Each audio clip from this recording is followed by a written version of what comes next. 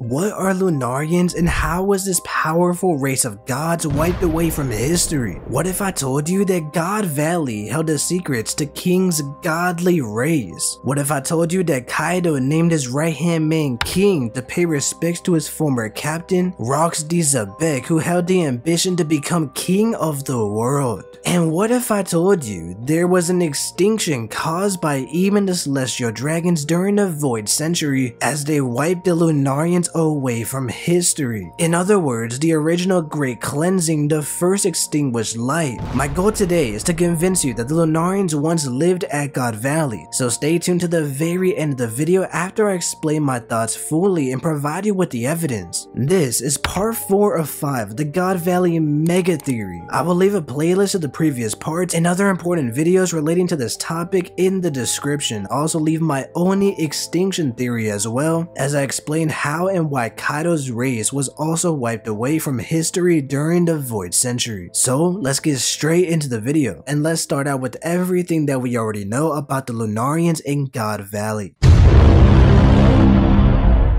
Lunarians are an extinct god race that once lived on the Red Line even before the Celestial Dragons. This means during or even before the Void Century. Alber or King from Kaido's crew seems to be one of, if not the only remainder from this race. We know the world government have an interest in him as it's implied that he was being tested on similar to Kaido when they were both captured. We also know that they are interested in him because they will pay for any information on King. One thing to know is that King and Kaido are both members of very rare races and they both have knowledge and interest in Joy Boy. Lunarians are known for being tough and withstanding crucial living conditions. They also have the power of firebending, exploding into flames, as this is how Marco first speculated of King's race. Other features include black wings, white hair, dark skin, and a tattoo that King has on his face. Luna is Spanish for moon, and Lunaria is Latin for moon, so there does seem to be a link between the Lunarians and the moon. Now all of this will be important later on in the video, so keep it at the back of your mind for now.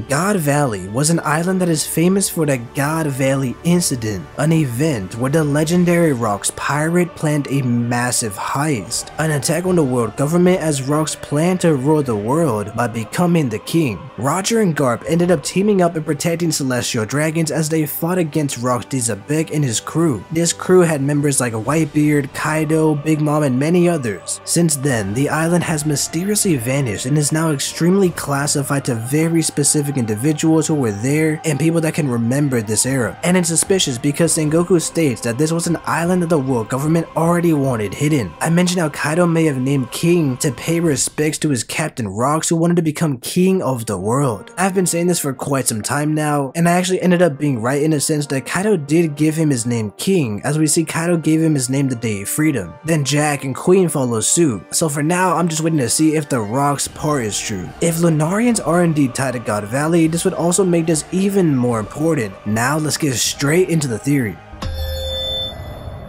Is it a coincidence that the only characters to have shown any knowledge of King's race are Whitebeard, Kaido, and Big Mom? That's right, all of these three members were once part of the Rocks crew. And this is a good place to start as I believe the Rocks crew learned about the Lunarians at God Valley. It's possible that there was a poneglyph that explains the truth of what happened at the island. And God Valley sounds fitting to be the perfect place that the God race of Lunarians once occupied. Whitebeard is shown to only bring up these gods gods when he's drunk. And then there's Big Mom, who's collecting these different races like if they're Pokemon.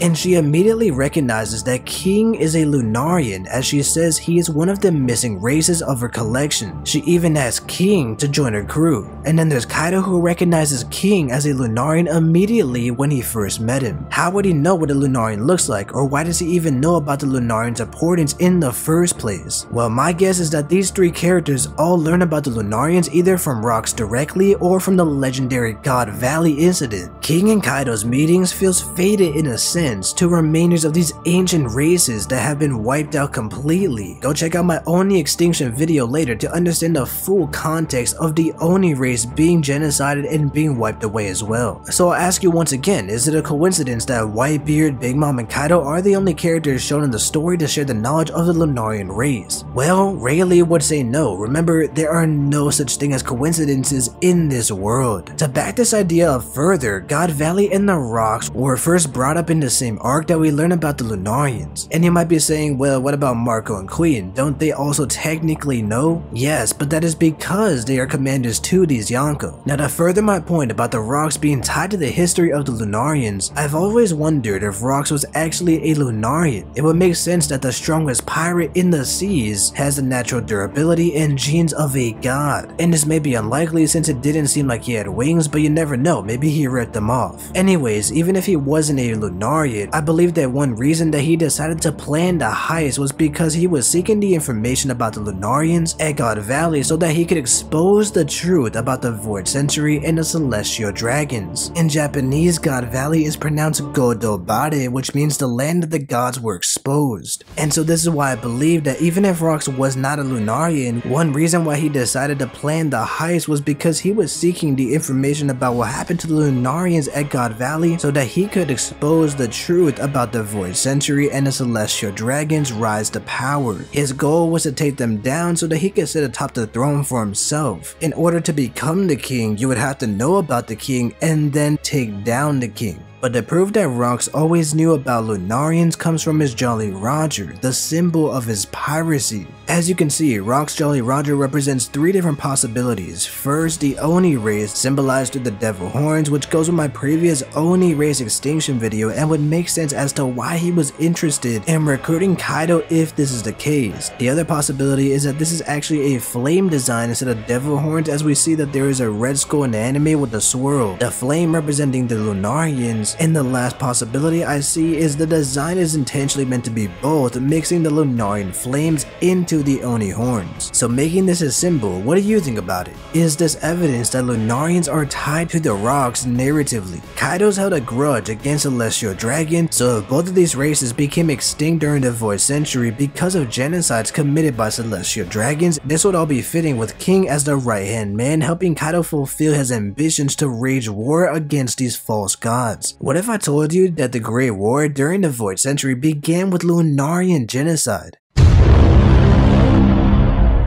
It would make sense that Celestial Dragons would target the Lunarians first based on threats as they would claim the throne after defeating the gods, replacing them upon the Red Line. Lunarians are a race of moon gods with Luna meaning moon, and Celestial Dragons are similar with Celestial meaning heavenly or referring to space, and dragons being godlike figures, especially in Japanese culture and mythology. And then there's Im, who is the king of the gods. Get it? King and gods? It's likely that God Valley has ties to the Void Century and the One Piece as a world government wanted to keep it hidden even before. And so to understand why Lunarians are the first extinguished light or the first genocide that began the War of the Void Century, we have to look at the Oharans. Ohara was another extinguished light as they were wiped away with only Robin surviving. In fact, there are many parallels between Robin and King that Oda is painting for us, and that is the first of many. Let me ask you, how do you extinguish a fire? That's right, with a fire extinguisher. I believe the Celestial Dragons continue to use this very specific term, extinguish the light, because they are literally extinguishing the light by massacring the Lunarians who are known for their flames. Fire represents light, and so does the moon in the night. So after this event, the Celestial Dragons always refer to these great cleansings, these big genocides, as extinguished lights. Going back to Nico Robin, she is a survivor of another cleansing, the Ohara incident, where they erased Ohara and the artifacts that held the secrets. All of their people and their culture being washed away forever. And she is also known as the Light of the Revolution, another possible reference at Ohara being a distinguished light as she carries on their wheels, reading the poneglyphs, and one day learning the true history. King's black wings are meant to resemble a fallen angel going along with the god theme, and then Nico Robin is the devil child and is now shown with her devil form. As you can see, there are many interesting parallels between King the last Lunarian and Robin the last Oharan. And while the Oharans were learning the truth about the ancient Ancient Kingdom, is likely that the Lunarians are connected to Joy Boy in the Ancient Kingdom during the Void Century.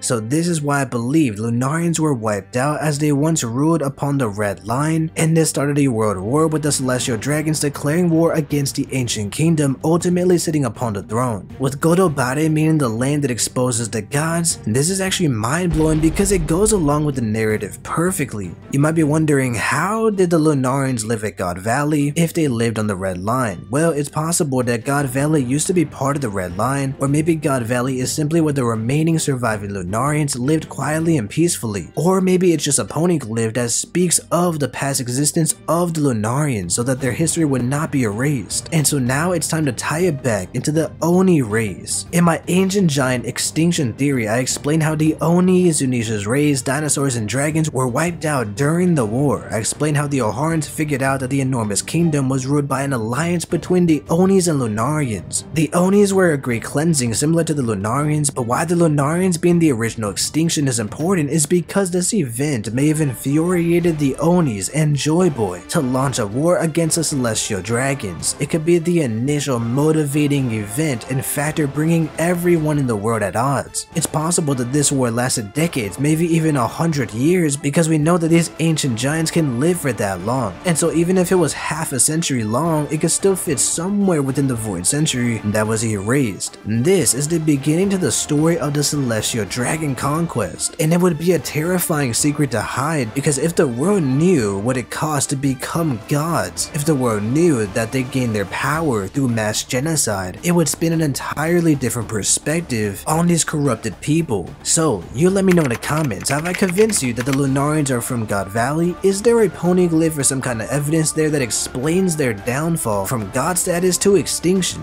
And to find out what really happened to God Valley, make sure that you subscribe and hit that bell like Luffy and Skypiea to be notified for the final part of the God Valley mega theory that will discuss more about King, Joy Boy, and Nell, and why Enel will return to the series and his connections to God Valley. I've also made other videos that you need to see to understand the full context of the Oni genocide and to learn why the ancient weapon Uranus might also be located at God Valley, so click on one of these two videos to learn more.